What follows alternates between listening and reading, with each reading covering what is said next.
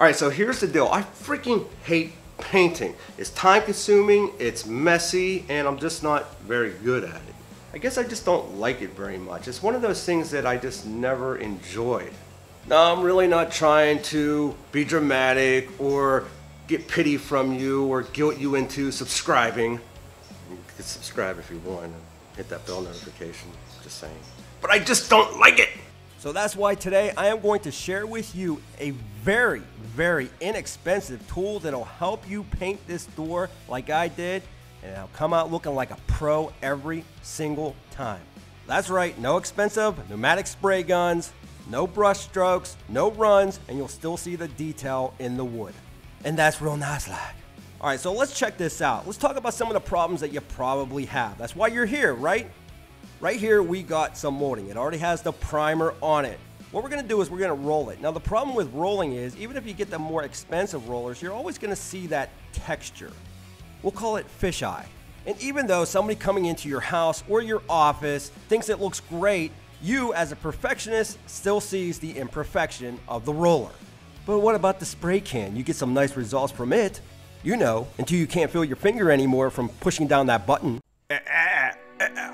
My finger. Uh, uh, oh, I can't feel my finger. But luckily, my evil twin was there to help.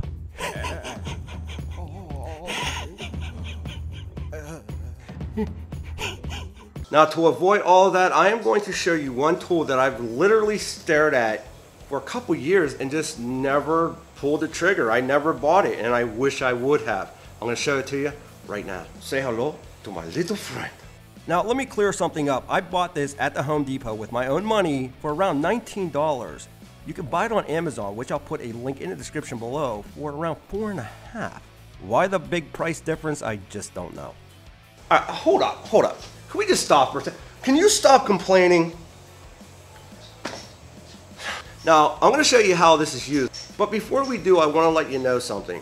This does not become part of the can that you are using. It's not a nozzle per se. So it's never going to get clogged up. Again, I'll show you how it's used, but what's nice about this is you can use it over and over and over again, as long as you don't run it over with your car or truck. Let me show you how this thing works already. Right here we have a piece of molding. Now usually when you buy molding or if you buy a pre-hung door, they're always primered. So you scuff those down, you know, get your sandpaper real light grit or sanding pad, 120, 150, and just take that stuff down a little bit, get it nice and smooth. Once you do that, it's ready to spray and it is going to be real nice like by the time we're done with it. Now this one right here is already white. We're going to put red on the back and I'm really going to allow you to see how this stands out and get that nice glossy finish. Yeah, so we got our spray paint and we're using Rust-Oleum again. Not sponsored. But as I had mentioned earlier, when you're doing something like this on a small project, it's not that bad, but you're pushing down that trigger constantly on those larger doors and just larger projects, it really starts to hurt your hand. That's when you start getting sloppy. It's not good. All right, so what we're going to do is take this Rust-Oleum slide attachment, and you can see right here, there's a little opening.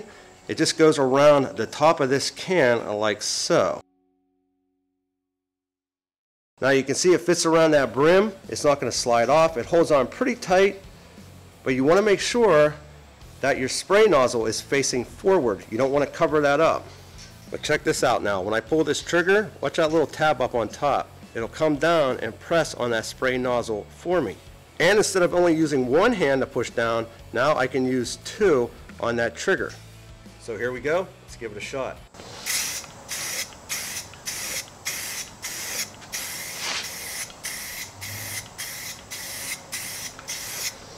So that was our first coat. That was super simple to do. And what this does, it allows you to actually use this like an air sprayer. You can get that nice width. You can spread it out. You can stop, come back, stop, come back, stop, come back. It just really works nice and it goes on really even.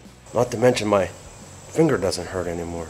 Now while that's drying up, let me say one other thing. If you don't have primer on your material already, you can buy the primer in the spray can and use this with it and then just change out the can, put your paint on and spray it. All right, so we're ready for our second coat. So all I'm gonna do is the same thing. I'm gonna hit it this side. I'm gonna come around on this side and hit it that way because you don't wanna miss the insides of those grooves.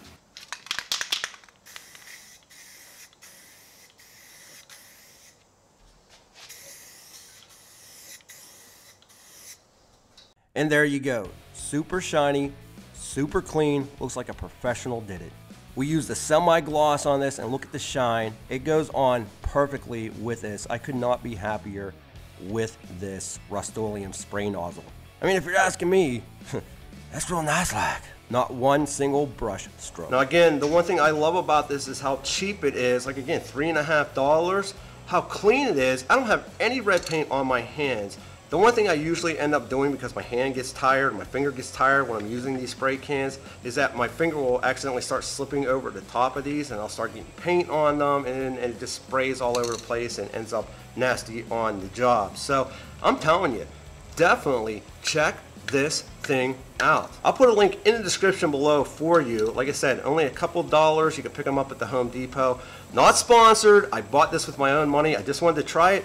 And uh, really happy I did. Now I will tell you that I thought that this would fan out a little bit. The way they make the pictures look is that you got that nice spread, but you really don't. You're just getting what you get from that spray nozzle. It doesn't do anything other than push down on that trigger.